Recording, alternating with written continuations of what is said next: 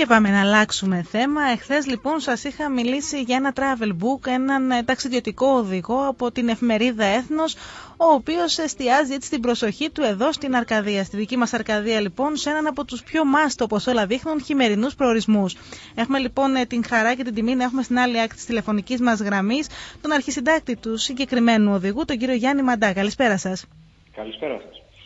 Κύριε Μαντά, σας καλέσαμε γιατί θέλουμε να μάθουμε τι ακριβώς θα περιλαμβάνει αυτός ο τουριστικός οδηγός και πώς έτσι συλλάβατε την ιδέα να ασχοληθείτε με την Αρκαδία. Αν και νομίζω ότι χειμώνας και Αρκαδία πάνε μαζί. Είναι ένας προορισμός άρρηκτα συνδεδεμένος με τις χειμωνιάτικες εξορμήσεις. Ακριβώς, ακριβώς.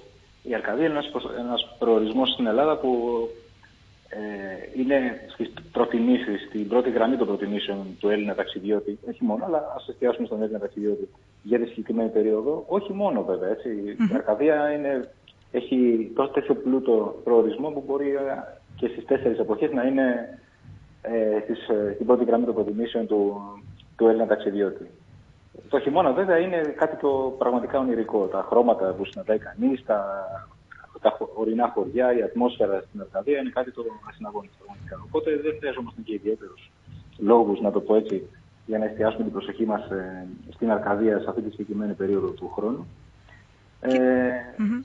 Θέλω να μου πείτε ποιες περιοχές ε, επισκεφθήκατε mm-hmm. για να φτιάξετε αυτόν τον ταξιδιωτικό οδηγό; Mm-hmm.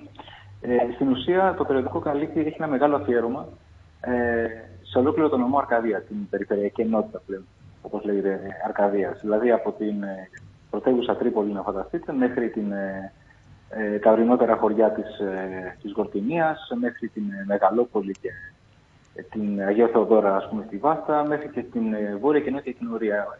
Είναι ένα αφιέρωμα που καλύπτει ολόκληρο τον νομό, ολόκληρη την περιφερειακή ενότητα Αρκαδίας, με κομμάτια συγκεκριμένα αφιερωμένα στον κάθε ε, νυν καλλικρατικό δήμο. Από την Τρίπολη, το Βόρεια Κοινωρία, την Νότια, τη Μεγαλόπολη και τη Γορτινία. Θέλω να μου πείτε πόσο χρόνο σας πήρε για να το προετοιμάσετε και τι ήταν αυτό το ιδιαίτερο, ποιο ήταν το ιδιαίτερο κομμάτι της Αρκαδίας που κέντρισε την προσοχή σας; Ο χρόνος προετοιμασίας είναι κάτι το. είναι το ζητούμενο πάντα. Ο χρόνος ποτέ δεν είναι αρκετός. Mm-hmm. Το μόνιμο πρόβλημα όλων αυτό. Όσο χρόνο και να αφιερώσει σε μια περιοχή, ε, όποια και να είναι αυτή, πάντα θα αποδειχθεί λίγος. Πάντα θα έχεις και άλλα πράγματα να ανακαλύψεις. Μια δεύτερη, τρίτη φορά, αν επισκεφθείς έναν συγκεκριμένο τόπο, πάντα θα ανακαλύψεις κάτι καινούργιο. Οπότε όσο χρόνο και να αφιερώσεις, αυτό θα, θα είναι πάντα κάτι που θα ήθελες πάντα να έχεις λίγο περισσότερο χρόνο ώστε να το αφιερώσεις. Τώρα, όσον αφορά κάποιο συγκεκριμένο, κάποια συγκεκριμένη περιοχή στην Αρκαδία, ε, θα ήμουν άδικος αν διάλεγα κάποια περιοχή συγκεκριμένη. Ε, υπάρχουν πραγματικά διαδρομές στην Αρκαδία, στην ορεινή Αρκαδία, στην παραθαλάσσια Αρκαδία. Υπάρχουν διαδρομές που ε, εναλλάσσουν εικόνες ανάμεσα στο ορεινό και το παραθαλάσσιο που πραγματικά αξίζει το, το κόπο και το χρόνο να αφιερωθεί κάποιος από να το επισκεφθεί και μία και δύο και τρεις και τέσσερις φορές. Είναι πραγματικά. Ε, δίνουν πράγματα στο ταξιδιώτη. Έχεις να ανακαλύψει πολλά πράγματα. Πιστεύετε ότι αυτή η εναλλαγή ορεινού και τοπίου με τη θάλασσα σε τόσο mm. μικρές αποστάσεις είναι και το στοιχείο εκείνο, το πλεονέκτημα της Αρκαδίας, ίσως που γι' αυτό το λόγο έχει γίνει και ένας από τους πιο μάστε χειμερινούς ε, τουριστικούς προορισμούς είναι σίγουρα ένα από τα πλεονεκτήματα. Υπάρχουν ε, πράγματα που μπορεί να δει στην Αρκαδία και μπορείς να κινείσαι, για παράδειγμα, στο παραλιακό μέτωπο και σε 20 λεπτά να βρίσκεσαι στις ε, πλαγιές του Πάρνονα. Ένα από τα πιο εμβληματικά βουνα τη Πελοποννήσου και γενικότερα της Ελλάδας. Είναι σίγουρα ένα από τα πλεονεκτήματα αυτά. Και να ανακαλύψει τον Πάρνονα εκπληκτικά χωριά, ορεινά χωριά που ε, ίσως δεν περίμενες κιόλας να συναντήσεις. Ε, ή και λίγο πορεία στη Μεγαλόπολη, περίπου. Πόσος κόσμος ε, που δεν έχει μέχρι τώρα την ευτυχία να ασχοληθεί με αυτό το κομμάτι της εργασίας, έχει συνδέσει την περιοχή, παράδειγμα σας λέω τώρα, mm. με την ε, ΔΕΗ, ας πούμε. Και όμως η Μεγαλόπολη έχει εκπληκτικά φυσικά τοπία. Πολύ σωστά. Πολύ, πολύ πλούσια φύση, έχει ε, εικόνες εκπληκτικής ομορφέ που δεν ε, είσαι προετοιμασμένος να τις ε, να τις συναντήσεις και όμως τις συναντάς και μάλιστα σε απόσταση αναπνοής από το αστικό κέντρο.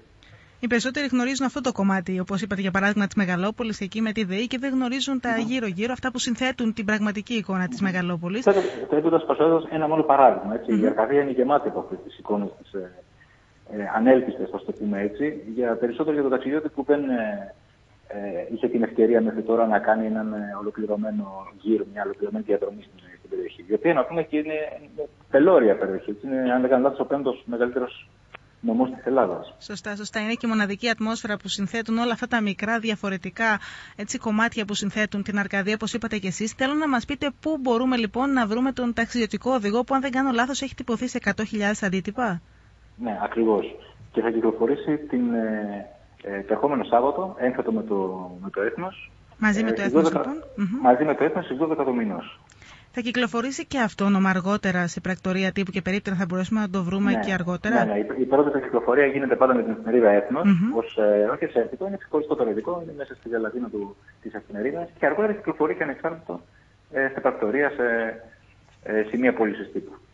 Εμείς να σας ευχαριστήσουμε πάρα πολύ για την παρέμβασή σας και για, την, ε, με το, για τον τρόπο με τον οποίο επιλέξατε να προβάλλετε εδώ την περιοχή μας. Είναι πολύ σημαντικό μια τόσο μεγάλη εφημερίδα να δημιουργήσει έναν ταξιδιωτικό οδηγό για την περιοχή εδώ της Αρκαδίας και να ευχηθώ στο επανειδήν με ακόμα περισσότερα πράγματα για την περιοχή μας.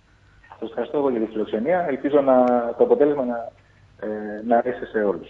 Είμαστε σίγουροι γι' αυτό. Σα ευχαριστούμε πολύ. Καλό σας βράδυ. Να είστε καλά. Γεια χαρά. Ακούσαμε λοιπόν τον κύριο Γιάννη Μαντά, αρχισυντάκτης της εφημερίδας Έθνος. Όπως ακούσατε, ο οδηγός για τον οποίο μιλήσαμε και εχθέ, ο ταξιδιωτικός αυτός οδηγός, θα κυκλοφορήσει το Σάββατο μαζί με την εφημερίδα Έθνος. Νομίζω πως όλοι πρέπει να τον προμηθευτούμε, γιατί όσο και αν νομίζουμε πως ξέρουμε την Αρκαδία, όπως ακούσατε και από τον κύριο Μαντά, είναι πολύ λίγα αυτά που ξέρουμε στην ουσία και είναι πολλά τα μονοπάτια που πρέπει να μάθουμε, γιατί οι περισσότεροι έχουμε επισκεφθεί αρκετά σημεία αλλά την ίδια μας την περιοχή, την Αρκαδία μας δεν τη γνωρίζουμε καλά.